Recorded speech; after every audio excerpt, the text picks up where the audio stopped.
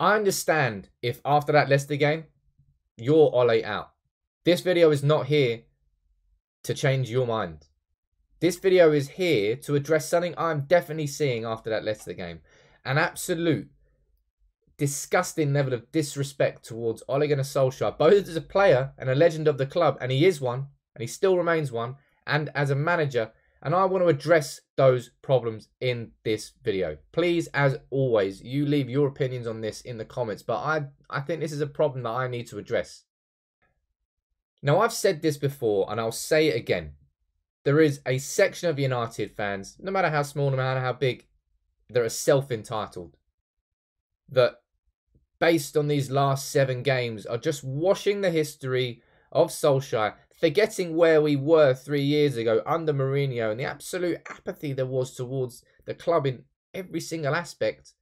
They forget about all of that.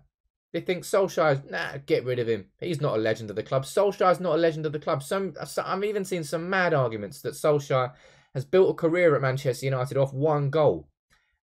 Let me just give you a quick history lesson. Ole Gunnar Solskjaer, in a career that lasted 10 years at Manchester United, with nearly 400 appearances for Manchester United, scored 91 Premier League goals, 126 career goals.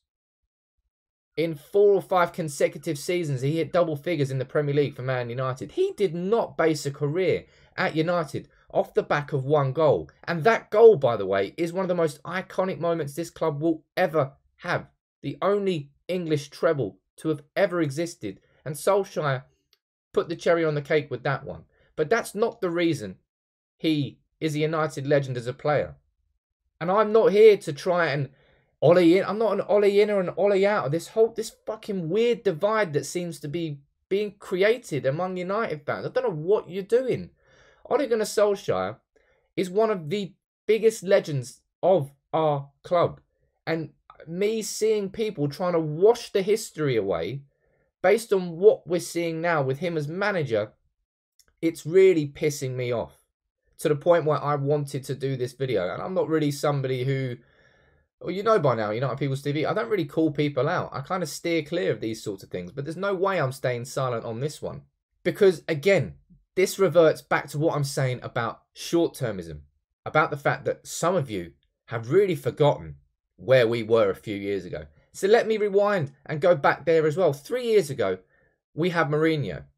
We got in bed with the devil the manager who, after Fergie retired, I would say 90% plus of United fans were absolutely apoplectic at the idea of Mourinho as United manager. Hell no, he's not part of the United way.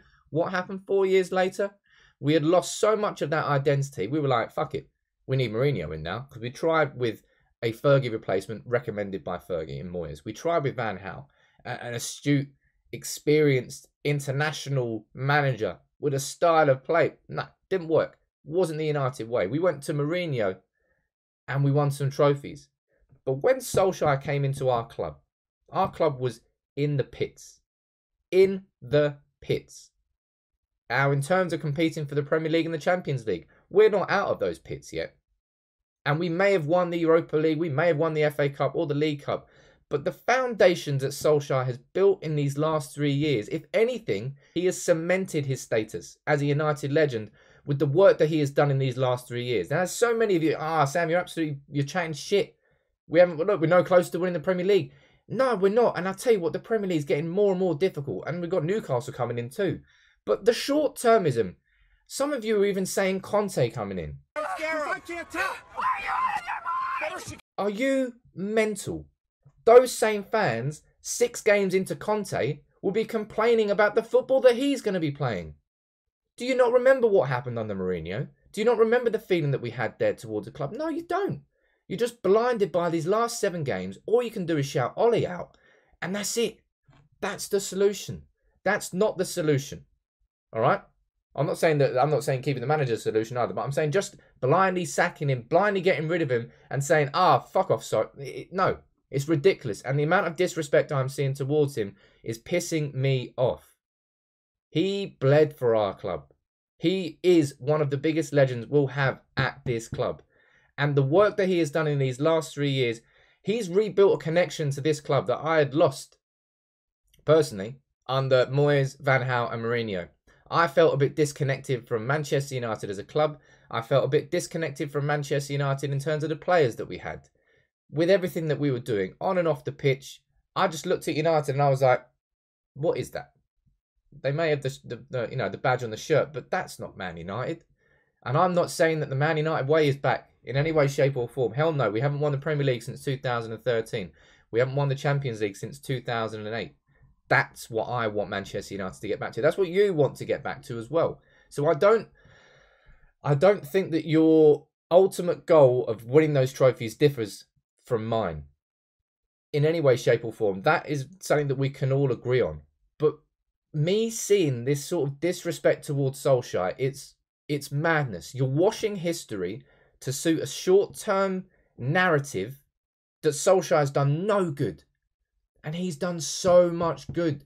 Do not forget what you are doing right now is you are in this situation where you you know that Manchester United should be competing for the Premier League. Solskjaer's given you this stick that you're beating him with. He's built this squad over the last three years.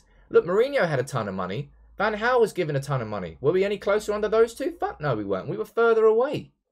Solskjaer has built this squad and got us back to this point where we actually feel that we can compete. That's what's making it frustrating with the football we're seeing and the lack of progress that we're seeing.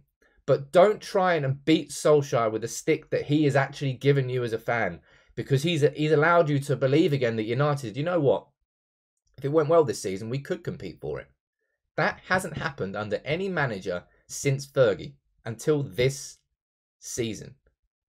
And that's because of the great work that Solskjaer has done to this point. And as I said, this concept that he's tainting his his status as a Manchester United legend at the club because of what's going on right now, nah. That's complete and utter short termism. I won't be swayed from these last seven games from what I remember as a kid growing up for 10 years of what Solskjaer did at our club and the great work. Yeah, he speaks in, he spoke in cliches when he came in, oh, the DNA and the culture, but we fucking needed it because we lost it all. It was all gone. Solskjaer's helped rebuild that. He's helped our, and I mean, the arrogance isn't there, but we can see it in the football. But it's just, I find it mind blowing. Maybe it's just social media. Maybe it's just what I'm involved in and something I'm reading every single day, and maybe it's it's not as big as I'm making it out to be. But it's it, it's blowing my mind seeing the amount of disrespect towards Solskjaer. It really, really is, and I don't know I don't know how it's. I mean, it only stops when Solskjaer gets sacked, right? But then, as soon as that happens, go into a new manager. Wait until you put that manager's head on the chopping board as well. Football works in cycles. You do the exact same thing with whoever comes in after Solskjaer. But no matter what happens from here on in, I just wanted to do this video because Solskjaer deserves and commands more respect from United fans, than I think he's getting from quite a lot of them. No, I'm not saying a majority here at all, right? But what I'm seeing and what I'm witnessing here, and people just washing history and ignoring everything that he did as a player and every and ignoring everything that he did has done as a manager to this point, it's it's pissing me off. And the great work that he has done in these last three years cannot and should not be forgotten because we're losing against Leicester and we're losing against Villa and West Ham in the League Cup. I'm not here to shout and say Solskjaer is the man to take us back to the top. He clearly right now is out of his depth, and I can't now personally see any sort of internal change that's going to steer us in that direction. If that was going to happen, I think it would have happened for the Leicester game. We had a couple of weeks to sort of regenerate, recuperate, reassess, and go in a different direction. Instead, we went down the same path, and if anything, we were worse than we were. Well, no, we were worse than we were before the international break. But don't just wash history to suit this narrative right now.